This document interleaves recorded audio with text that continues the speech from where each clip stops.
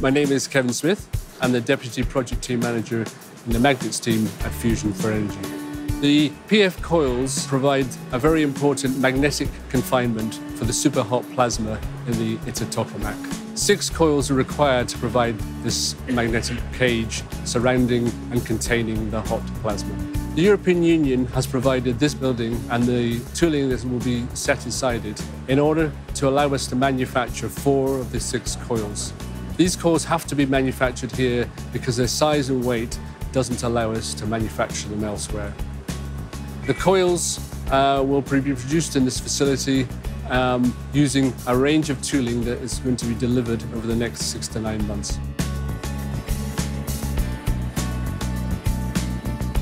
My name is Giambattista Fachin. I work as a technical officer in Fusion for Energy with the PF coils. Uh, the first equipment for the manufacturing of PF coil is arrived on site and is being assembled. It is the winding tooling produced by the Sea Alp Engineering Consortium and which will be used to bend an average of 12 kilometers of cable in conduits per coil. It will be done with a millimetric accuracy to get a conductor in O-shaped trajectory to form one module, which is known as a double pancake. It will take approximately three years to get the conductor shaped like that and to complete the fabrication of PF coils.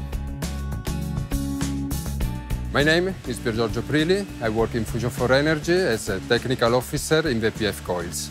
All the manufacturing steps of the PF coils will be carried out here, like the DPs, winding, impregnation, stacking, and the final cold test. The building will be an exceptionally large, clean facility, able to accommodate up to 80 people working in different uh, workshop, facility areas, and offices.